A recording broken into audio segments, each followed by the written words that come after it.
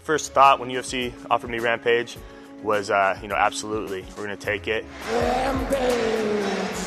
He's fought over there, he, he's popular over there, but that doesn't matter to me. You know, I relish in the role of the underdog going in there and beating somebody like Rampage. So, if anything, that's going to give me more motivation. My cardio is going to be there. I'm definitely training my butt off, and uh, I'll be in shape for sure. And I think he'll be in shape, and you know, if he isn't, um, you know, that's something I can exploit. You know, I'm going to be smart about it. I'm not just going to go out there and, and, trade punches with Rampage.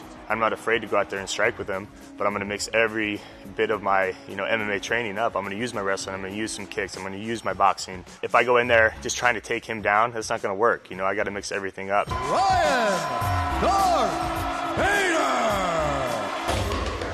beating Rampage would, would, solidify my career. You know, put me up there with the upper echelon fighters in the light heavyweight division.